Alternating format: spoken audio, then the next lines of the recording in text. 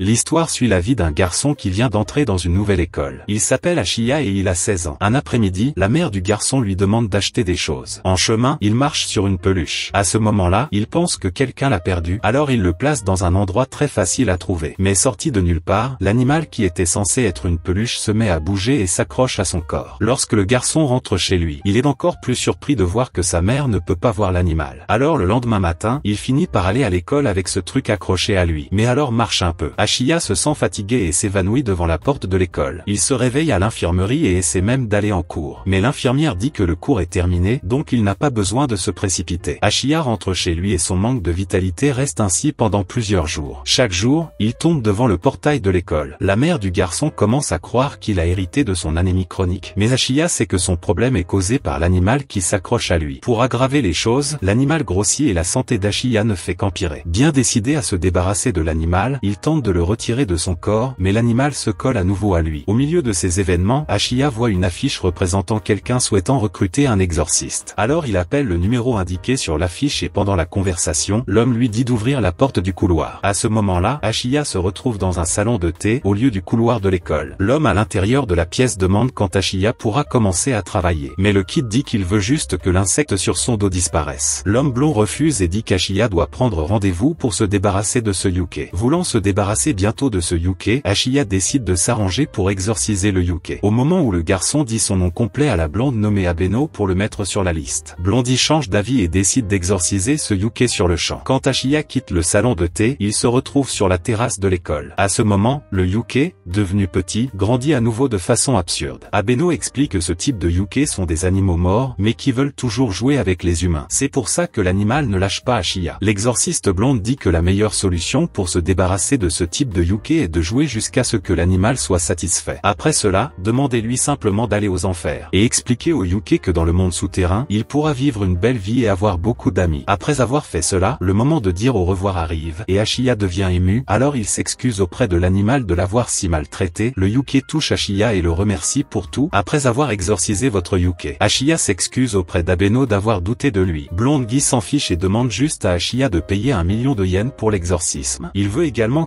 en monnaie souterraine. Dit comment le garçon ne peut pas payer cette dette. Abeno a trouvé un moyen de le forcer à travailler comme exorciste. Le lendemain, Achia a son premier jour d'école. En entrant dans la pièce, le garçon se prépare à se faire de nouveaux amis. Cependant, la personne assise derrière lui est Abeno. Et le pire c'est que le gars dort pendant tout le cours. À l'heure de la pause, les deux trouvent un Yuke à l'intérieur de la pièce. À ce moment-là, Abeno dit qu'il ne s'occupe que du travail rémunéré. Après cela, Blondie demande à Achia d'aller lui acheter de la nourriture en échange d'une baisse du montant de la dette. Quant Tachia faisait la queue pour acheter des collations. Il voit une fille tomber et se plaindre d'une forte crampe au pied. Ce que la fille ne savait pas, c'est qu'un Yuke vert s'accrochait à son pied, même s'il a reçu l'ordre d'Abeno de ne pas s'impliquer. Ashia pose sa main sur le grini et l'enlève du pied de la fille. Dès que les étudiants le voient faire ça, il commence à le traiter de médium. Malheureusement, quand Ashia a essayé d'emmener le petit à Abeno, il a fini par se faire attaquer par une légion de vers. Les cris d'Ashia ont fini par attirer l'attention d'Abeno. Lorsque Blondie a vu son employé se faire attaquer, il a ouvert la porte du salon de thé et a envoyé Ashia. Le garçon a donc réussi à se débarrasser des yoke, mais s'il quitte cette pièce, ses petits animaux vont l'attaquer. Afin de ne pas perdre son nouvel employé, Abeno décide d'exorciser le probable Yuke qui dirige ses petits. Abeno dit à Ashia de rester dans la pièce, le personnage principal insiste pour l'accompagner. Alors que les deux quittent la pièce, ils sont attaqués et capturés par les plus petits puis emmenés chez un Yuke extrêmement puissant. À leur grande surprise, le Yuke demande simplement au maître Mononokean d'envoyer ses petits aux enfers. Alors Abeno ouvre la porte et n'envoie que les petits. Ashia demande pourquoi le grand gars ne va pas aussi aux enfers. Puis Abeno explique que le grand type est piégé par des racines maudites, donc il ne peut pas aller aux enfers avec les vers. En découvrant cela, Ashia dit au grand gars de ne pas abandonner car il cherchera un moyen d'enlever ses racines. Lorsque le garçon convainc le grand Yuke de ne pas abandonner sa vie, Abeno sort un médicament spécial qui peut éliminer ses racines. Cependant, les grands Yuke peuvent finir par mourir en utilisant ce médicament. Le Yuke ne se soucie pas des effets secondaires et prend le médicament après beaucoup de et de souffrance, Verdao se débarrasse des racines. Puis Abeno rouvre le portail et à la surprise générale, les Grigny ne sont pas partis sans le Grigny. Avant que le bonhomme vert ne parte, Achia lui dit au revoir et Abeno lui recommande d'aller chercher des médicaments dans un certain magasin. Verdao les remercie et dit qu'il parlera de leurs bonnes actions à toute la pègre. Lorsque la porte qu'Abeno a ouverte se ferme, Blondie avoue qu'il avait peur de donner le médicament et que l'Achia a fait le bon choix en obligeant le Yuke à conserver sa volonté. Après cela, Blondie s'évanouit car ouvrir cette porte vers les enfers demandent beaucoup d'énergie. Désespéré, Ashia réveille Abeno, à ce moment Blondie, même fatigué, convoque le salon de thé et les deux entrent à l'intérieur. Comme Abeno est fatigué et peut à peine parler, Ashia finit par découvrir que le salon de thé est en réalité un Yuke qui peut fonctionner sans gaspiller l'énergie d'Abeno et même communiquer. Quand Ashia découvre que le Yuke s'appelle Mononokean, Abeno demande où il habite, en disant l'emplacement exact, Mononokean laisse Ashia à l'intérieur de sa maison puis Abeno va se reposer. À la maison, la mère d'Ashia demande ce que le garçon a fait pour veiller tard, mais il ne lui répond même pas correctement, il dort juste et sa mère est heureuse de voir ça. Le lendemain en classe, Ashia se fait deux nouveaux amis, alors qu'ils allaient rentrer ensemble à la maison. Abeno ouvre la porte du Mononokean devant tout le monde. À ce moment-là, Ashia annule la tournée avec ses nouveaux amis et entre dans le salon de thé. La Abeno était avec un client, en gros le client est une pierre sans émotion, pour s'exprimer il utilise le pouvoir des masques, il avait trois masques et a fini par perdre celui qui avait le pouvoir de le faire rire. La personne possédée par ce masque rira jusqu'à ce qu'elle ne puisse plus le supporter et la seule façon de faire tomber le masque de l'humain est de pleurer devant lui. Comme Ashia est un gars qui pleure même en lisant un livre pour enfants, Abeno décide de l'envoyer faire cet exorcisme. En quittant le salon de thé, Ashia se rend compte qu'il se trouve à l'intérieur d'un temple. Une petite fille du même âge que lui apparaît rapidement et lui demande ce qu'il fait. Ashia essaie d'abord de trouver des excuses, mais en entendant le père de la fille rire sans fin, Ashia dit à la fille qu'il veut faire arrêter son père de rire. Même en disant à la fille que les Yuki existent et que son père en est actuellement possédé, la fille refuse de le croire. Cependant, comme son père rit d'une manière très étrange, Girl Call Zanko décide de laisser au moins Ashia parler à son aîné. En parlant au gars, Ashia se rend compte que le chauve est un gars très en colère, mais le chauve n'arrête pas de rire. Quand Ashia essaie de lire le livre triste pour pleurer devant le gars, le garçon finit par avoir du mal à pleurer. Il décide donc d'aider la fille de l'homme chauve à nettoyer le sanctuaire. Pendant l'aide, Ashia remarque que le sol du sanctuaire est sec et que la jeune fille sortait des objets importants du jardin. Pendant qu'il travaille, Ashia lui dit que sa mère est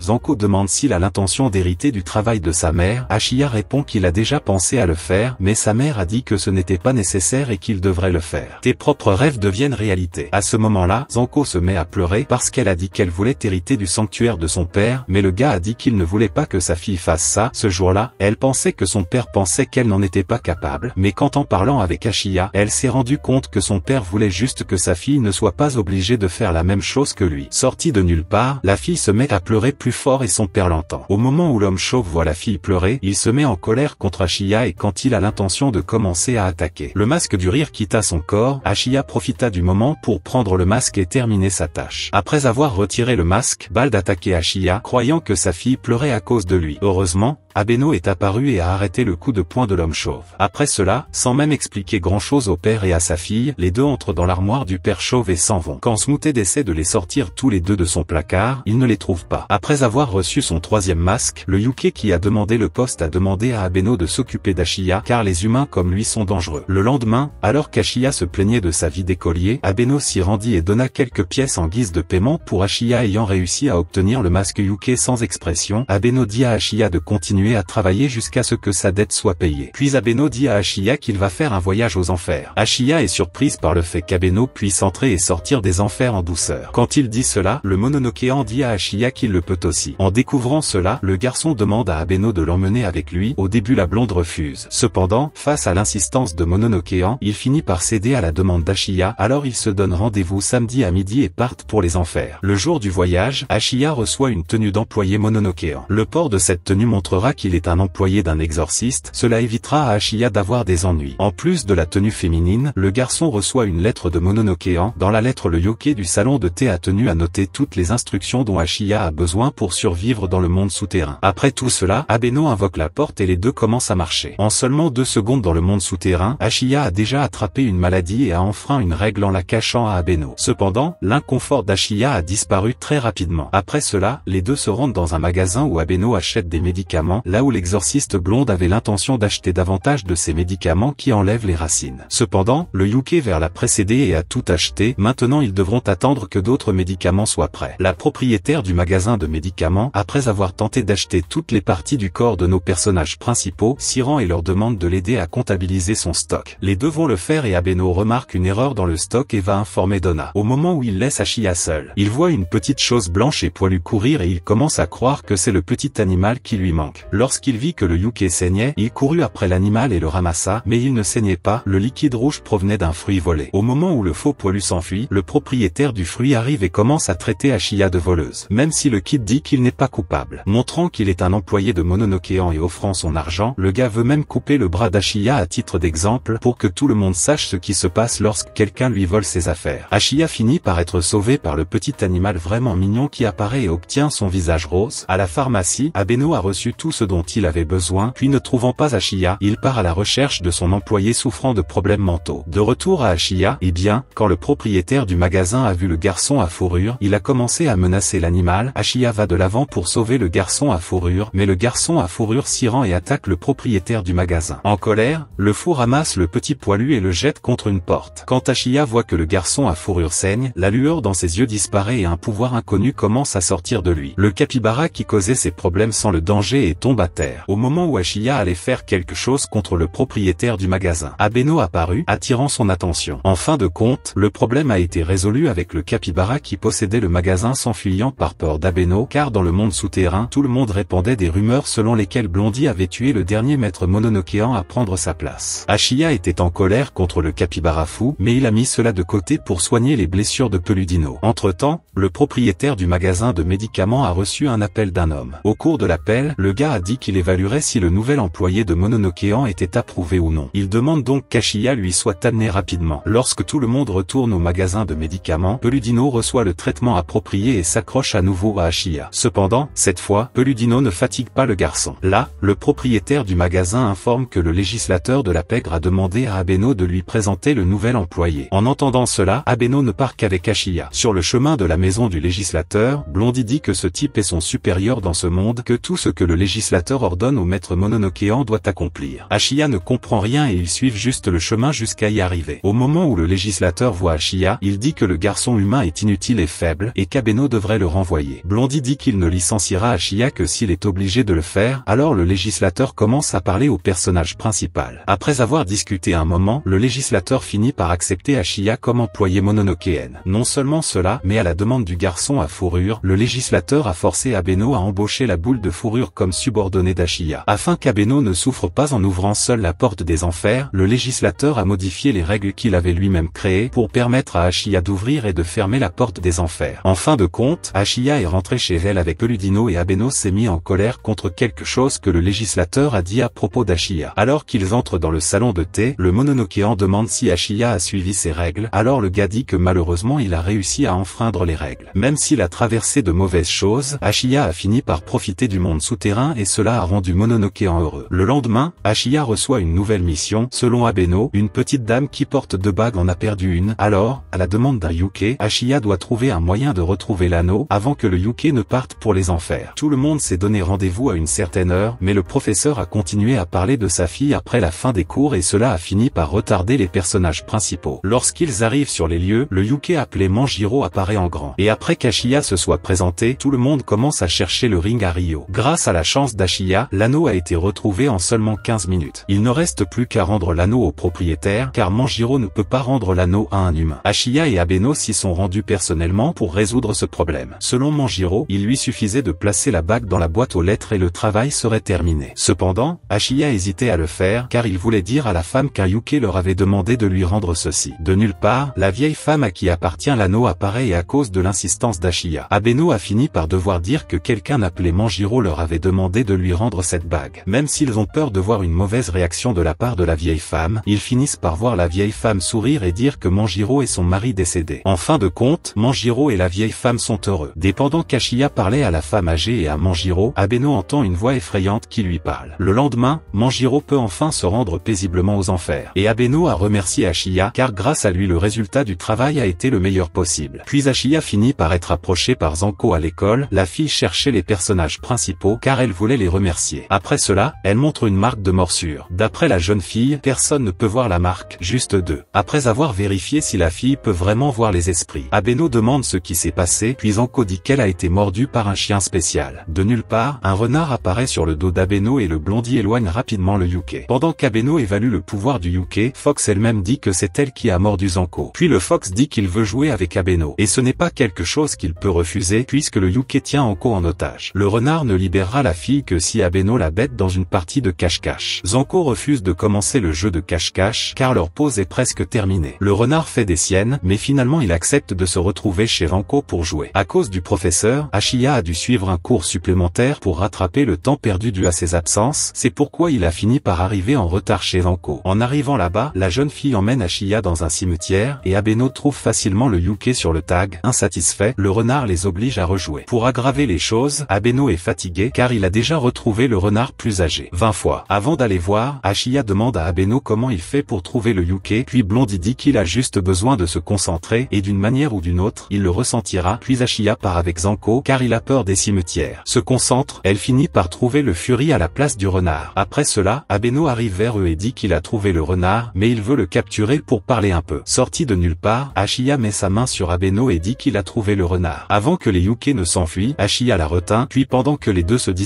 Abeno réussit à se souvenir du nom du renard. En appelant le renard Yaiko, le Yuke révèle enfin son apparence humaine à Abeno. Mais le renard est en colère contre lui, et sa colère est alimentée par des rumeurs selon lesquelles Abeno aurait tué l'ancien maître Mononokean pour prendre sa place. Après s'être transformé en renard géant, Yaiko demande si ces rumeurs sont vraies. En entendant la question de Fox, Abeno met sa main sur son museau et la force à se prosterner, puis le gars dit qu'il n'a pas tué Aoi. Après avoir écouté Abeno, le renard devient petit et dit qu'il a presque cru au mensonge, car il a grandi et changé, mais en jouant avec lui, le renard a senti qu'il était toujours une bonne personne. Une fois tout résolu, Fox supprime la marque de Zanko et s'excuse pour tout le mal qu'elle a causé. Zanko demande à Fox de l'aider à prendre soin du temple en guise d'excuse. Au milieu de la conversation, Abeno demande à Raposa si elle ne veut pas aller aux enfers, car là-bas, elle aura plein de gens avec qui jouer. À ce moment, le renard devient sérieux et demande si Abeno ne veut plus jouer avec elle. En réponse, Blondie dit qu'il veut toujours jouer avec elle et Tal, mais qu'il ne voulait que le meilleur pour elle. Pour éviter d'aller aux enfers, Fox accepte d'aider au temple de Zanko pendant un an. Une fois ses problèmes résolus, Ashiya rentre finalement chez lui, puis en chemin il finit par rencontrer un Yuke suppliant d'être exorcisé. Le Yuke était faible, c'est pourquoi il finit par s'évanouir, alors Ashiya le sauve et l'emmène chez lui. Quand le Yuke se réveille, Ashiya dit qu'il est un employé de Mononokean. Heureux d'avoir été sauvé, le Yuke se présente comme Jomatsu et dit que son problème concerne la princesse qu'il sert. En gros, elle sortait avec plusieurs humains et animaux qui ne pouvaient pas la voir. Les rencontres se terminaient toujours par de la tristesse pour elle. Quand elle était triste, elle s'enfermait et après un moment elle revenait à la normale. Cette fois elle s'enfermait et n'est jamais revenue. Pour aider petit Yuke, Ashiya essaie d'appeler Abeno, mais il ne répond pas. Cela fait, Ashiya a fini par aller à l'école avec le Yuke en tête. La Abeno dit que Jomatsu doit faire la queue. Alors que son tour n'arrive pas, Jomatsu décide d'emmener Ashiya chez sa princesse. En chemin, Ashiya demande au Yuke s'il est amoureux de la princesse, même si Jomatsu le nie, la vérité est claire. Dans un parc, Ashiya trouve l'œuf dans lequel la princesse était piégée. Comme la princesse ne répondait pas, Ashiya a fait semblant de frapper Jomatsu pour voir si elle apparaîtrait et elle est réellement apparue. Des Ashiya dit à la princesse combien Jomatsu a travaillé pour elle, et elle demande à son fidèle disciple pourquoi il fait cela. Ensuite, Ashiya essaie de faire déclarer à Jomatsu son amour pour la princesse, mais Jomatsu ne parvient pas à démontrer son amour. Abeno apparaît de nulle part et la princesse Yuke finit par tomber amoureuse de lui. Le lendemain, les deux se rendent chez un humain pour effectuer un autre exorcisme. Cette fois, la personne qui a fait la demande était l'humaine elle-même. Lorsqu'ils arrivent à la maison, les deux rencontrent une fille excitée qui lui demande ce qui se passe dans sa chambre. Abeno ne dit rien, il trouve juste le gars Yuke et part l'exorciser. Pendant que le gars travaillait dans la pièce, Ashiya était dehors en train de parler à la fille. Sortie de nulle part, la mère de la jeune fille arrive et commence à soupçonner le travail d'Ashiya après avoir posé plusieurs questions et ne pas croire ce que le personnage principal a dit. La femme essaie de proposer un travail à Ashiya, le personnage principal refuse et dit qu'il aidera Abeno. Après avoir dit cela, la maison commence à trembler. Quand Ashiya arrive pour aider Abeno, il voit que la fille a ouvert la porte de sa chambre et que le Yuke s'est enfui. Les deux s'en prennent au Yuke, mais sont interrompus par le propriétaire de la maison leur disant de partir. À ce moment-là, Abeno s'excuse simplement pour la gêne occasionnée et dit qu'il fera l'exorcisme car s'il ne le fait pas, sa maison n'arrêtera pas de trembler. Cela dit, les deux se lancent à la poursuite des Yoke et tombent sur un couloir sale. En suivant les tâches, les deux finissent par retourner dans la chambre de la fille. Au final le Yuke était un petit animal qui avait peur des humains, c'est pour cela qu'il faisait trembler toute la maison quand quelqu'un s'approchait de lui. Peludino essayait de le calmer, mais cela prendrait du temps. Alors Achia s'y rendit et raconta à l'animal sa belle histoire avec Peludino. Alors Espetadino s'est calmé, Abeno a ouvert la porte des enfers et Yuke est allé dans un meilleur endroit. Au final, même s'ils résolvent le problème, la propriétaire de la maison les traite mal et leur demande de ne plus jamais s'approcher de sa maison. Ashiya était ravie, mais Abeno a dit de ne pas s'en soucier car ils font cela pour le bien des yoke et non pour le bien des humains. Un peu plus tard, Ashiya reçoit un appel de Zanko leur demandant de se rendre chez elle. Quand ils arrivent, son père chauve veut les combattre. Mais Anko est apparu et a menacé de parler de ses pitreries à sa mère. Avec ce problème résolu, la jeune fille emmène les personnages principaux à Yaiko. Pour une raison quelconque, les Yuke avaient trop grandi et étaient incapables de revenir à la normale. En parlant à Yaiko, ils découvrent qu'elle a volé des pommes de terre et les a mangées. Puis ils prennent le sac de pommes de terre et l'ouvrent. La première chose que tout le monde sent, c'est une immense puanteur. Cependant, pour les yokai, cette odeur semble agréable. Pour en savoir plus sur les pommes de terre, les trois se rendent à la ferme de la mère de Zanko. Lorsqu'ils sont arrivés sur place, ils ont été confrontés à de la fumée dégageant une odeur horrible. Cette odeur ne peut être sentie que par des personnes ayant une certaine sensibilité au surnaturel. Sorti de nulle part,